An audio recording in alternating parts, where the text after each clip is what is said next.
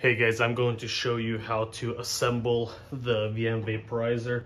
For, so first you just take the blower and you twist it in. You place it into the metal rod placement like this and then you twist it to the right. You can hold the handle, twist it to the right until it clicks.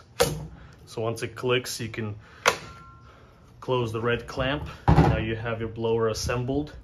Uh, second, what you want to do is you want to take the torches and you'll place the control knob there and then you're gonna put your torches on top so not under but on top. And you'll place them right inside the place placeholder like this.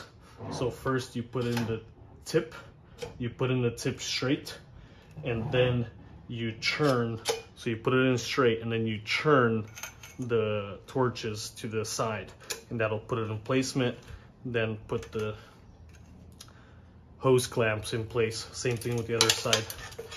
First, you will put in the torches straight and then you'll turn it to the side and it'll get into position.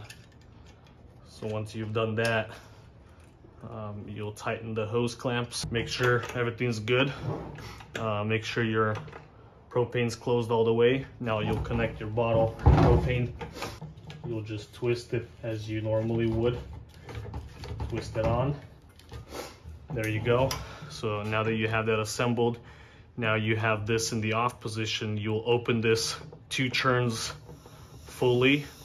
You'll light the torches with a lighter or a torch and you'll preheat for five minutes. After it's done preheating, you'll turn it down about an eighth or a quarter and you'll work at that kind of setting. Now to clean the vaporizer every 15 or 20 loads is our recommended time. Every 15, 20 loads you'll remove the blower and you'll put in the cleaning rod into the bottom section and you'll push it all the way down and just go back a, a few times, back and forth a few times. Take it out, put the blower back in, twist it, lock it. Now when loading the oxalic acid, you will load about at about an 80 degree angle, so like this. Uh, you don't want to have the vaporizer standing at a 45 degree or lower because the torches, they'll heat up the vaporizer and it'll start getting hot. And if you load the oxalic acid at this angle, it's gonna fall and it's gonna start melting and before it gets to the heating chamber it's gonna melt and get crystallized here and get stuck so what you want to do is you want to keep the vaporizer at an 80 degree angle load your half tube or full tube of oxalic acid drop it in so it falls down into the heating chamber and that's where it gets uh, caught and vaporized and then you will wait about 10 seconds and press the trigger to check the smoke. Uh, the air valve is going to close so the oxalic acid doesn't come out here. We built this custom built uh, trigger for the DeWalt fan so it always keeps the trigger pressed so you always have airflow going. Um,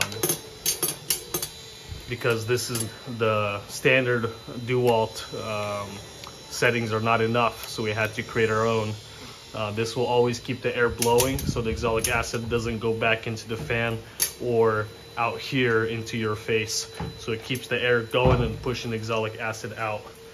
And so that's it. That's all you need to know. At the end of each day, you want to clean the torches. Watch our other video to see how to clean the torches. Thank you.